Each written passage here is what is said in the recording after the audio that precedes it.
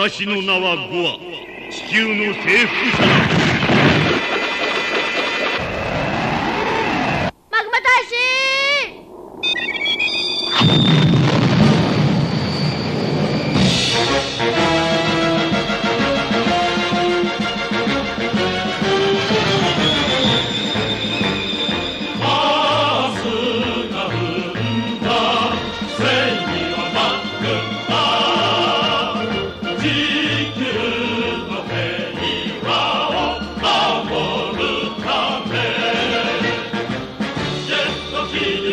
行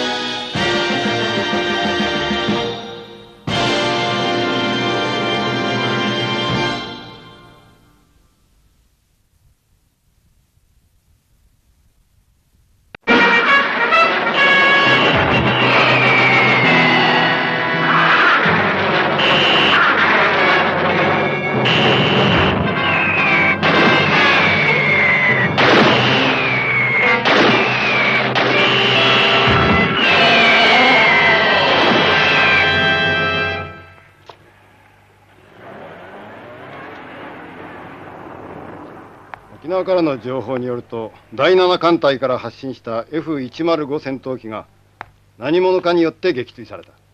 確かとは言えないがこのような軍事行動を取り続けるのは亡国としか考えられない。これは悲しむべきことだが事実上の宣戦布告と見てよいだろ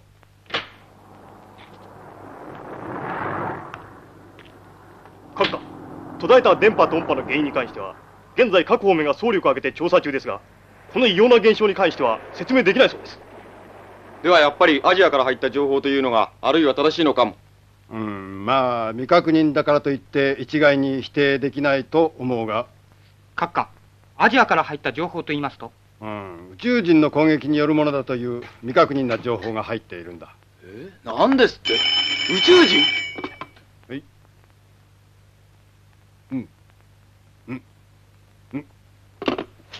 命令。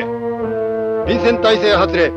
昨今の異常事態に鑑みミサイル基地並びに水爆搭載爆撃機は臨戦態勢に移る。総長。ついに米軍も臨戦態勢に入りました。そうか。一番恐れていたことが起こった。通信機関が完全に麻痺した今もはや世界の国々を説得する方法もない。この混乱を救うにはどうすればいいのだ私には手の施しようがない。今朝から2度目の原因不明の自然現象が起こりまして全世界から完全に電波と音波が消えてしまいましたが先ほどから三度音が戻りました。音の全くない世界がどんなものか我々はわずか数時間の間に身にしみて感じました。全世界はそのため大混乱をきたし世界中のあらゆる地域で不信と不安のために軍事衝突が起こり事態は急テンポで拡大しており国連でもその処置に苦しんでいる模様です。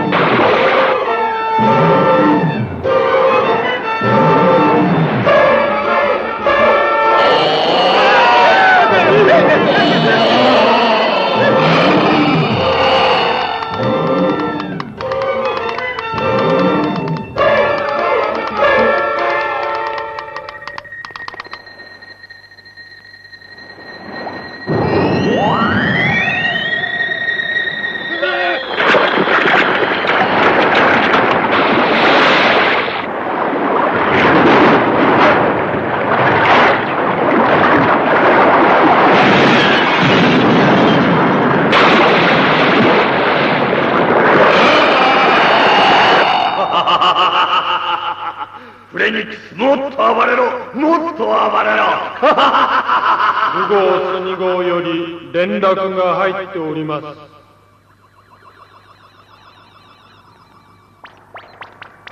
報告します。地球征服人間もどき。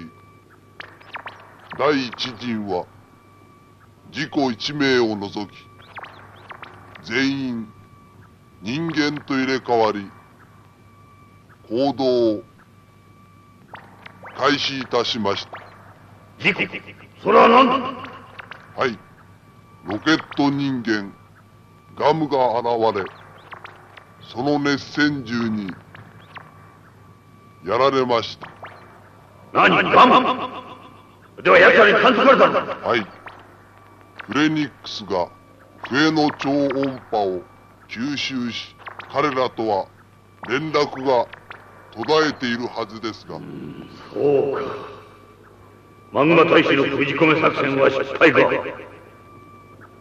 まあいいだろう。マグマが出てきてもいずれフレニックスが倒してくれ。る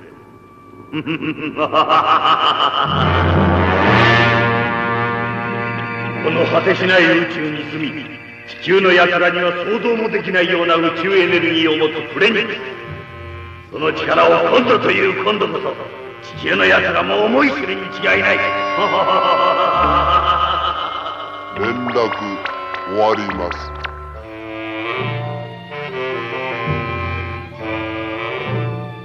あとは明日の朝になればこの死体を我々の集合地点に運ぶために仲間の人間もどきが大型トラックを持ってくる。集合地点で仮装にすれば誰にも気づかれず真っ赤に燃える火がこの死体を永遠に消してくれる。守る。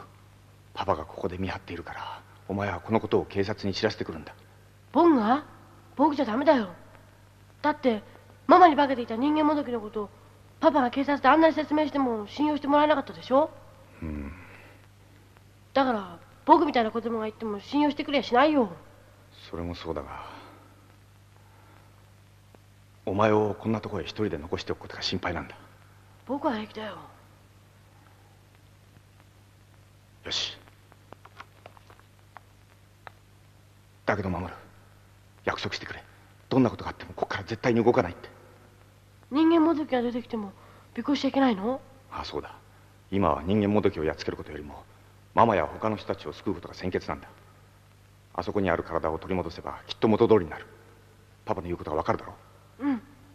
じゃあどんなことがあってもここから絶対に動かないで見張っていてくれ。うん。パパ。すぐ戻ってくるよ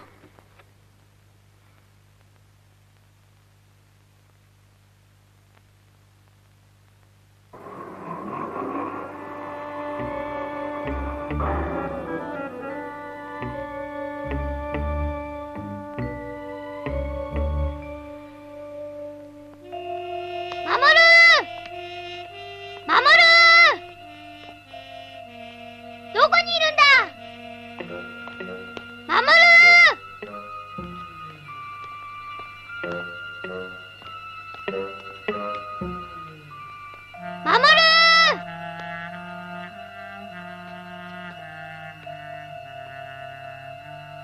そうだ。守りのお父さんの会社へ行けばわかるかもしれない。人間もどき？なんだいそれは。なあ村上いい加減にしてくれよ。今何時だと思う？夜中だぜ。徹夜徹夜の緊急警戒で参ってるんだ。いやそれはわかるだが今度という今度は新聞記者としての俺の言うことを信じてくれ。第一決め変だよ。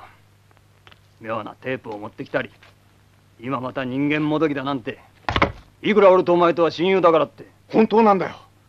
人間もどきっていう怪物が人間の体の中に溶け込んで中身を奪ってしまうんだ。ゴアという宇宙人のおかげで我々はてんてこまいしてるがそんな怪物が現れたという報告もないしね。嘘じゃない。俺は見た確かにこの目でその現場を見たんだ。現場を見た？それが証拠には化け物に侵された残骸があのセントラル病院の霊安室に横たわってる。嘘じゃない。いいか。死後硬直しない死体なんてあるか。ところがあそこに横たわってる死体は全部死後硬直してない。硬直してないということは死んでないということだ。死んでいない死体。中身が空っぽの死体。そんなことが人間技でできると思うのか。どうもないくらなんでも急にそんなことを信用しろと言われてもどうしろと言うんだ？方法はまだわからん。だが死んでない死体なら必ず元に戻せるはずだ。早く助け出さないとどっかへ運び去られて焼かれてしまうんだ。今俺の息子は見張ってる。なあ岡崎頼む。早く何とかいい加減にしろそんなバカな話をいちいち真に受けて相手になっていられるか？おいそいつをぶち込んで少し頭を冷やしてやれ。あおい君。来るんだ。何をするんだ。早くぶち込め。岡崎どうしたんだよ。来るんだ。俺をぶち込むなとそんな来るんだ。おい。岡崎俺を信じてくれ。俺はまともなんだよ。な。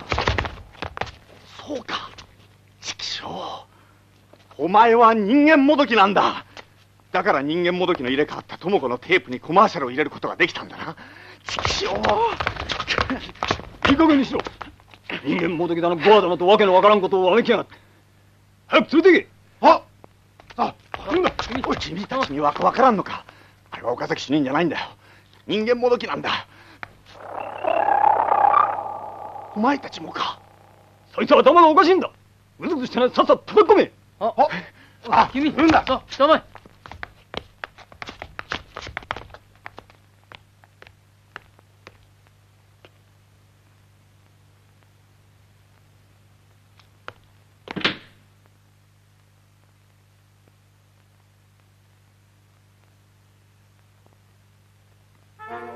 ちは人間もどき15村上が我々の行動を見破りました。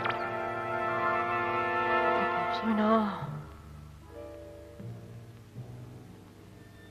どうしたんだろう。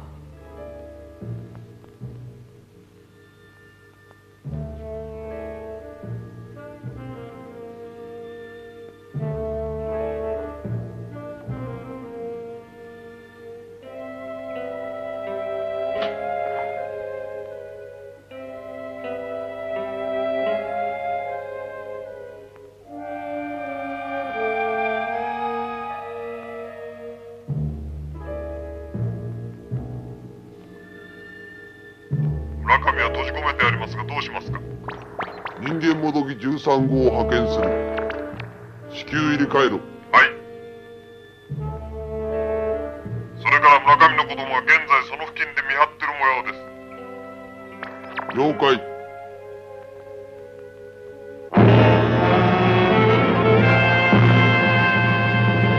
捕まえるのだ。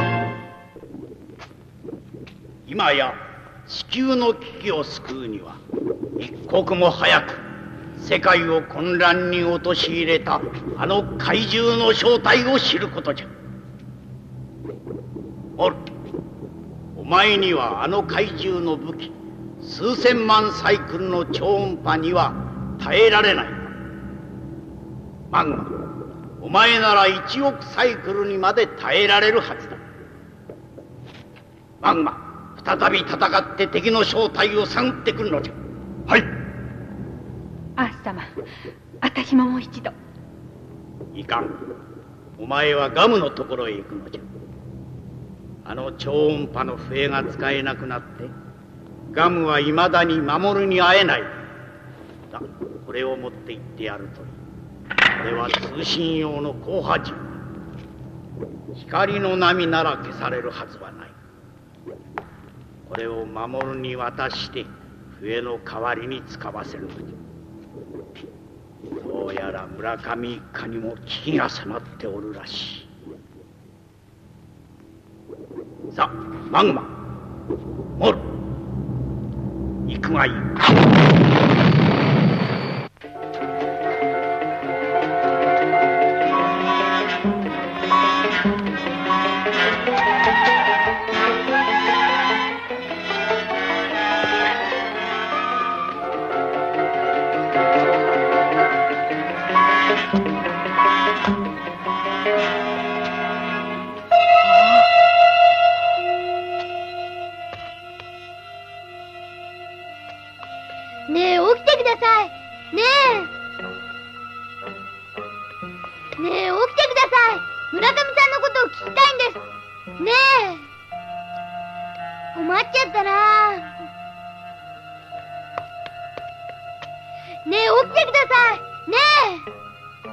誰？何の用なの？え僕ガムと言います。村上さんに会いたいんです。ガム？僕守を助けに来たんです。でも会えないので守のお父さんに会いたいんです。そう。それは残念ね。私たちも探してんのよ。でも連絡が取れないのよ。そうですか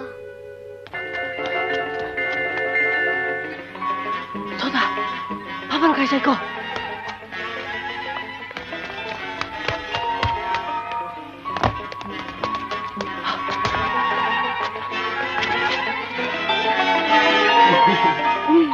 もう逃げられないぞ。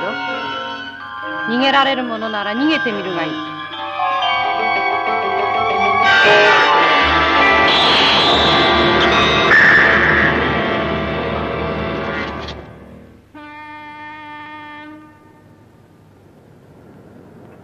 ばらくここで待ってらっしゃい。必ず村上さんと連絡が取れると思うわ。そうすればその守ちゃんのこともわかるでしょ。ええそうします。守はこの町のどこかにいるんですね。ええ多分ね。あ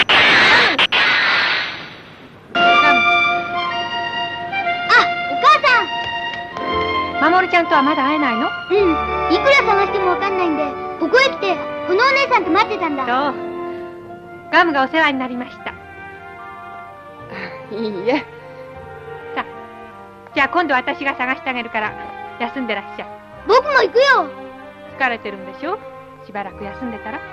やだよ僕。守の家でゴアの手下をやっつけたけどきっと守にも大変なことが起こってるに違いないよ。僕守を見つけるまでは絶対にやめないよ。でもお前はやだよ。僕も探すよ。だって守がこのどこかできっと僕の来るのを一生懸命待っているに違いないよ。守は僕のたった一人の大切な親友なんだもん。僕絶対に行くよ。そうね。わかったわ。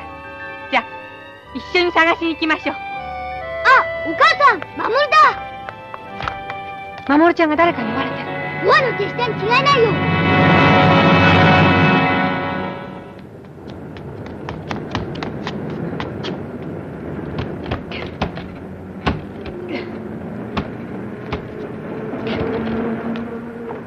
フフフフ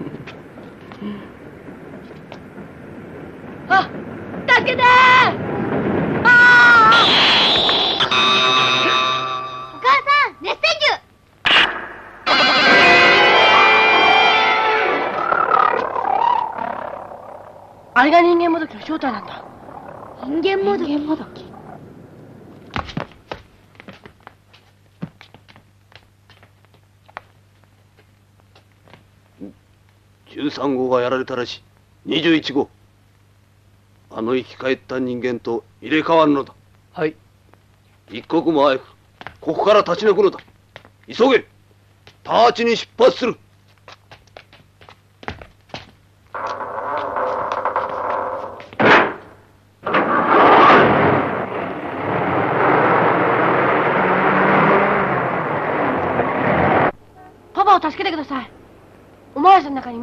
きがいるらしくて。パパは留置所に入れられ殺されかけてるんです。いいわ。私が助けてあげます。じゃあこれを持ってらっしゃい。塀が使えなくなったのでアース様がお作りになった後波信号銃です。一つ撃てばガンマ二つ撃てば私が三つ撃てばマグマが助けに来ますよ。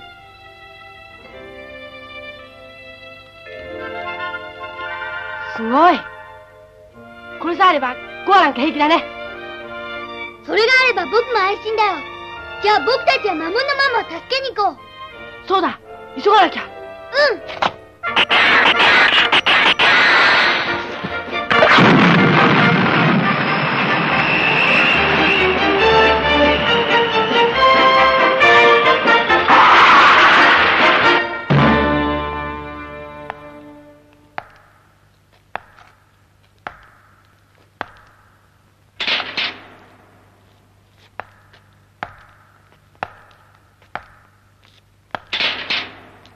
うるさいんで眠らせてやる。急げ。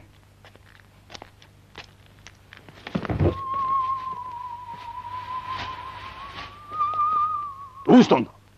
変なんです。何？早くしろ。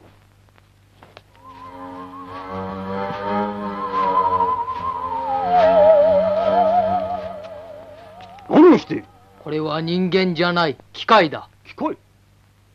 そんなバカな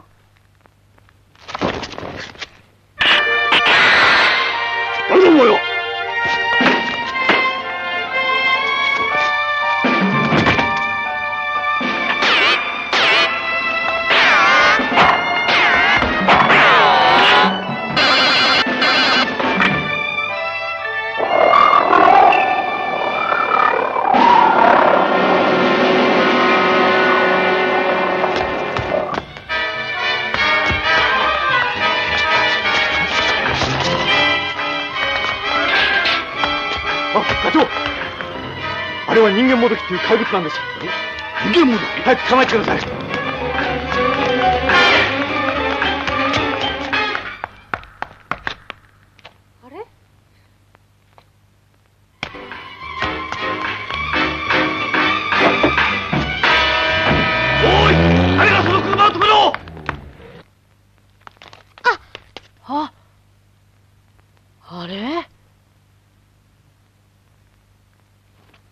遅かった。だろわからない。ガムどうしたらいいんだ？う困ったな。僕にもわかんない。ママがママがもされてしまうんだ。もされてしまったらもう助けられない。ガムどうしたらいいんだろう？おいもっとスピードは出んのか？